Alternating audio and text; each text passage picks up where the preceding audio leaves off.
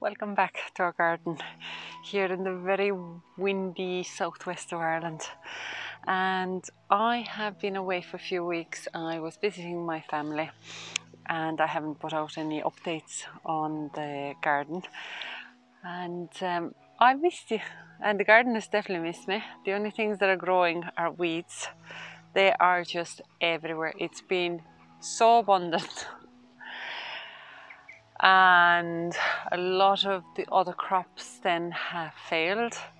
So I thought I'd get you an update and show you how the garden is bearing. I haven't done a thing since I came back and I know that it's time now to really roll my sleeves up and catch up because uh, missing a couple of weeks in the garden um, sort of end of August is fairly detrimental. and it's been sort of mild, but it's been still quite wet. The, the weather has been continuing to be as wet as July nearly was. So I'll, um, I'll show you around and we'll see what is growing. I don't know, do you see anything down here? Oh my goodness, the weeds are growing through the planters, they? Uh, they are. They are rosy.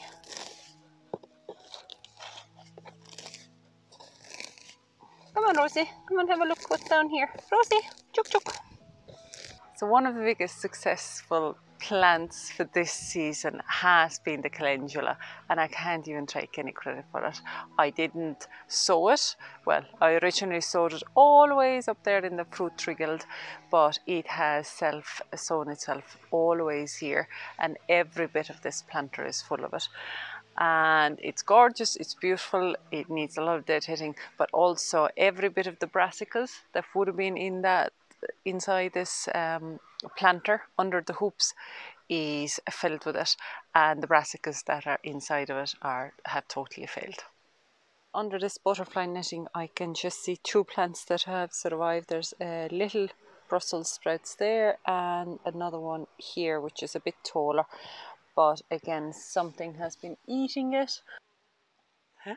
See, just like that, just climb through it. So earlier in the season when I started to see the, the bees actually on the borage here, I was really panicking. And I was really worried that they'll be trapped there and they can't get the, find their way through it. But no, there's been absolutely no bother.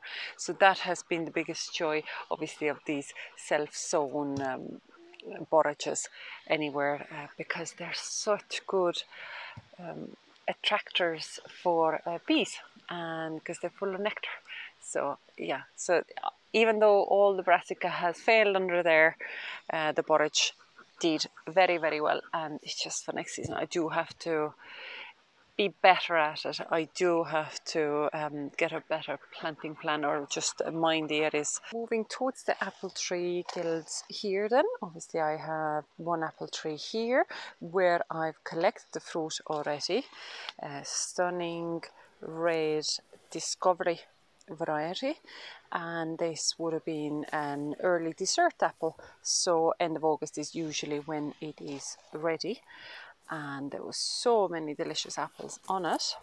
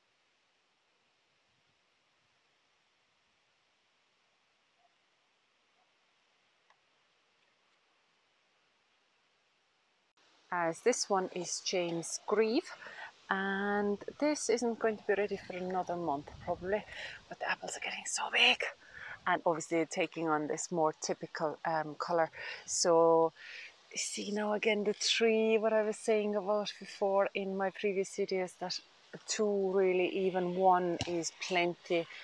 There's one here. There probably was two because I can, actually I can see a good few apples that the wind has knocked down we had um, a storm coming through again a few weeks back. Uh, so two is absolute maximum, but somehow I missed this one, fairly obvious one. But uh, there's three there, and they're so tightly packed, so they they just won't have that much space there to swell, to swell up, and get uh, to the maximum size as possible. But yeah, aren't they stunning? Now the fennel here has continuously grown. I can't even reach it, so I would say it's well over seven feet uh, tall, and that's going to come out uh, for next year. It's just too too big. I can't deal with it. It's blocking every bit of the walkway now as well because of its size. It has sort of lopsided itself away from the prevailing winds.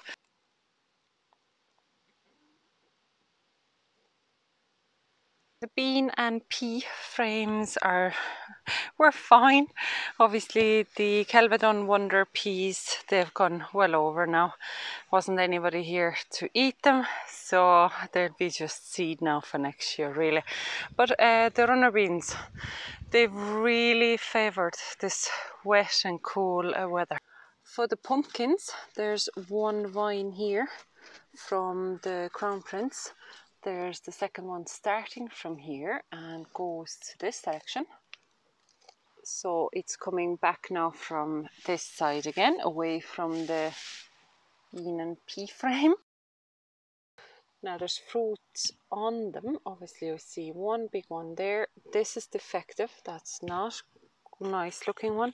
There's one rotten one here. One that's I don't think it's going to make it.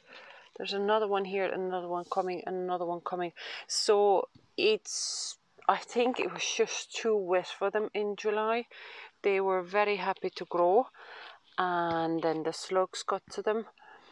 So I'm not sure if they will have enough time now at all to grow any further. Um, and I probably should be taking off the tip of this vine now at some point um, to make sure that it doesn't put any more energy into growing the vine but to actually maturing the pumpkin. So it could be just I'd have to take the rest of it off to make sure that this one gets enough energy. Plenty of beetroot. There's some of it I'm sure has gone over as well but there's plenty there and that's all the rocket. It looks horrible at the very end of the season. There's plenty of the little pods on it. Now these thornless blackberries are actually delicious now. Oh, they're really sweet. And there's plenty of them dropped onto the ground as well.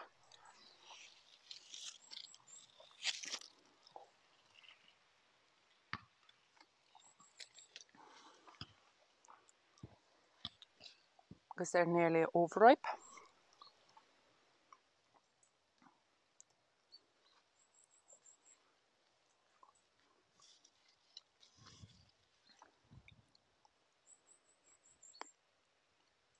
But they're delicious. They're very nice.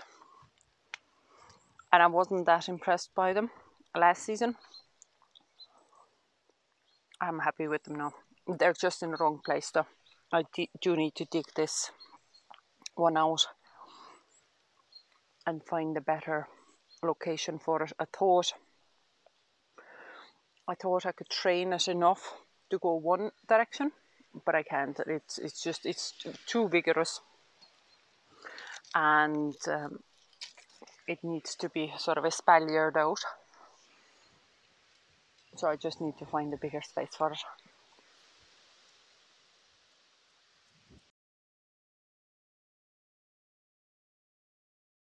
The other vine of the crown prince, and exactly the same thing has happened.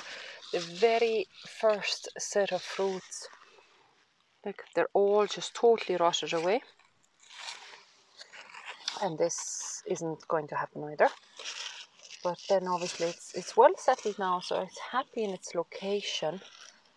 It's just a wetness and there's two, three forming and it's actually climbing itself now onto this butterfly netting here. So it took a while to settle, but it's happy. So I think I'm just going to chance it and let these uh, fruit ripen as much as possible. I, I really don't have any um, expectations now out of them anymore. So yeah, I think it's probably too late in the season for them to start putting on the proper weight it needs because like crown prince can be quite a nice size of a, a pumpkin. So yeah, I'm not really holding out too much hope. So look at these beautiful flowers. Aren't they just gorgeous? and that should be all food.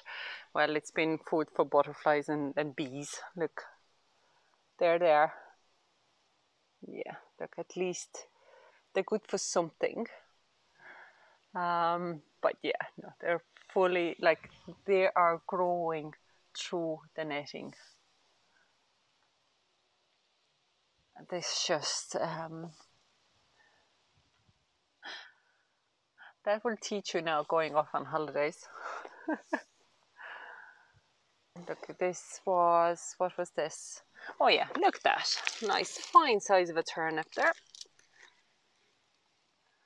All going to seed. Um, itsy bitty Brussels sprouts, absolutely ridiculous size. Butterflies have been able to get through the barrier as well, and I'm sure it's just through the, the leaves that were touching the actual netting. Um, there's a bit of Brussels sprouts growing in here, but the better ones are actually on the other side, on that side especially. A couple of nice Brussels sprouts growing inside here, but that's about it. Like it's out of all the brassicas that I had planted, um, and so obviously the seeds sown and everything, the Brussels sprouts were the ones that I was going to be, I was going to have the highest expectations for because I had so many of them and I wanted to make sure we have an abundance of them.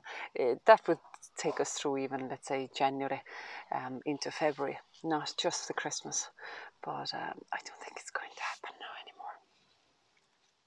Now this is the other pumpkin growing area, so I would have the sweet corn here as well. And I have two Amish uh, pumpkins in here and one vine going this way and the other one actually going both directions actually a little bit in here and then most of it running the other way. But exactly the same thing. A lot of the very um, early the first sets of fruit uh, have all just rotted away. And there's no hope of the new ones I'd say maturing again so the pumpkins have been an absolute disaster for this year just disaster. And obviously I didn't even get summer squashes, so.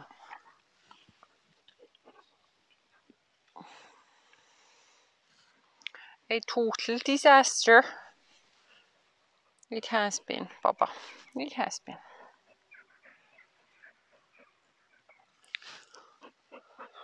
Now for the sweet corn I do have hopes for. Um, there are some very nice brown silks there but I'm going to let them mature more. Who's hiding under there? Yeah earwigs. There's so many earwigs everywhere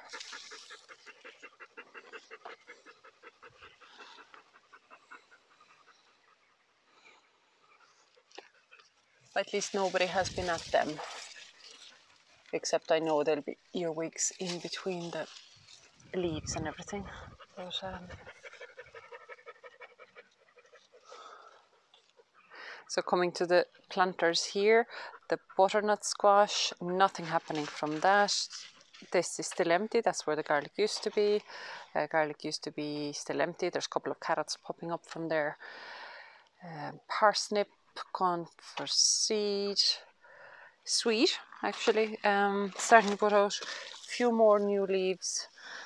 This is a hybrid, not sure how it's going to taste. Maybe it's gone too hard. I'm going to harvest one of them uh, for tonight's dinner for sure. So I'm going to do a little harvest as well at the end. And then this one has been totally decimated. As I said before, this was never covered. Baba. yeah. Come on, Penty. Come on.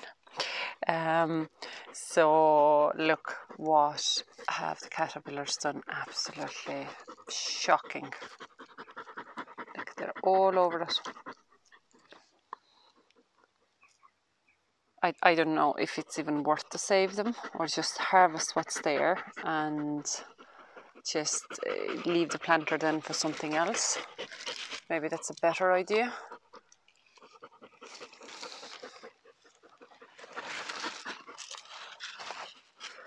But this has been a festivity for them.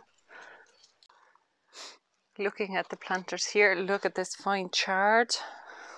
totally gone to seed you wouldn't even know this is something edible. Um, it just looks like a weed.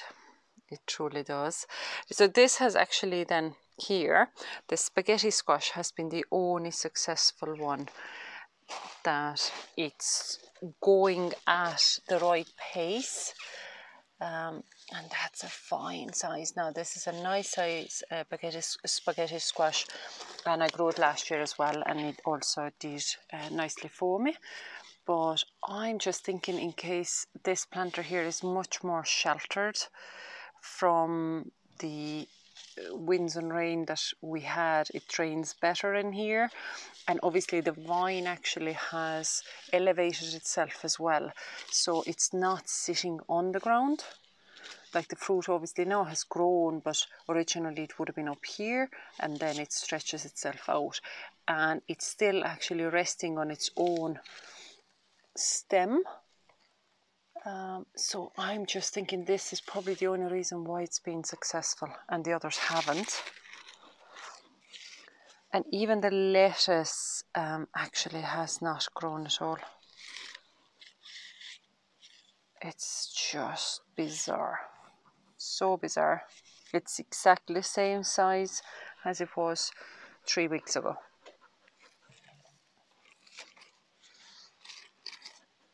So out of all the different pumpkins I had, I'd probably just get one fruit out of them. Which is pity because we do love pumpkin. Well, I like pumpkin. I love pumpkin.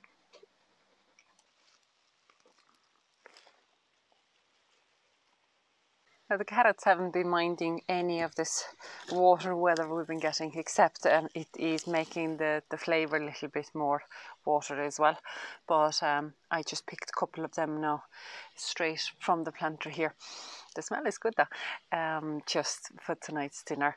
And let's head to the greenhouse and we'll see what's growing in there.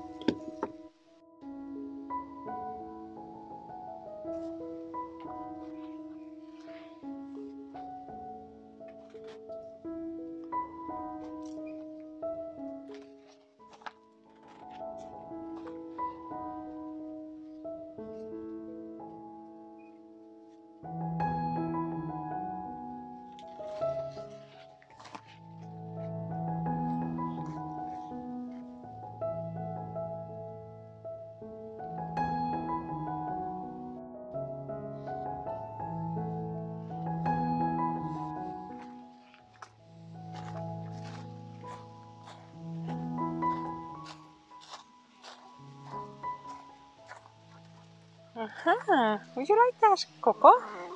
Would you like that? Oh, yes. Tasty? Is it good? Come on, Rosie. Come on. It's to Rosie too.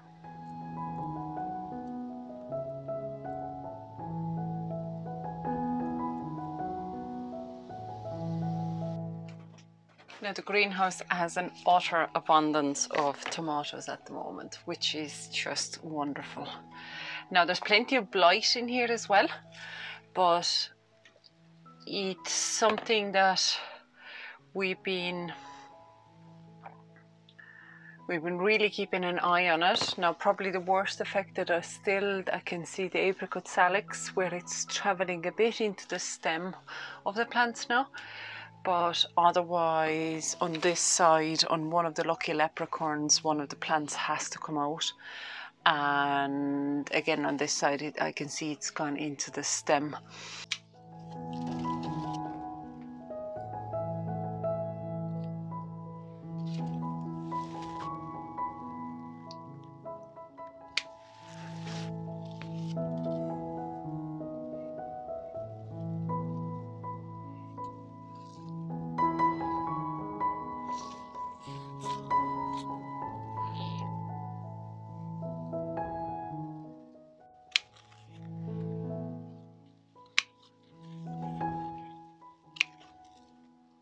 it's actually really hard to tell the difference between the lucky leprechaun and moneymaker as they are.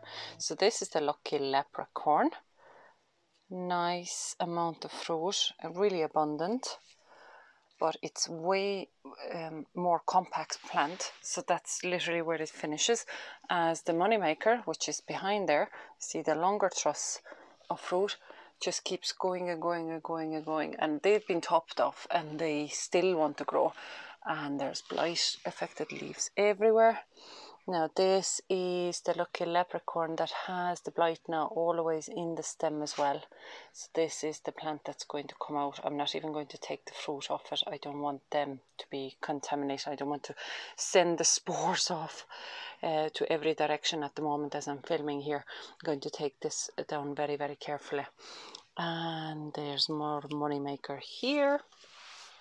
But if I'm but if I'm looking at them side by side, so this is the money maker, and again, how I know is because how tall this plant is. There's plenty of uh, green fruit on it still, but then beside it is the lucky leprechaun, and side by side, even the fruit look very similar in the shape.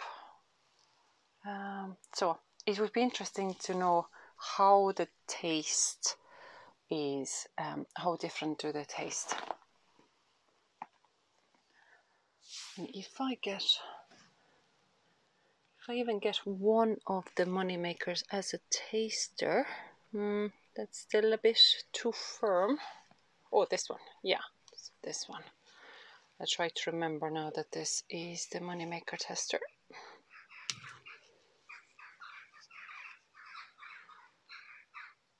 And what I collected there was the apricot salix and then a lot of cherry tomatoes. This is what we're eating literally daily. This amount of it is probably going to do us about two days and there's plenty more to come. But once you just keep harvesting from the top down, then they'll ripen. I really want to get a taste of the San Marzano as well. I wonder if they are ripe. At least one of them is ripe. Yeah. So these are much more elongated fruit. There. Like these actually look way more typical of your Italian cooking tomato. This long shape.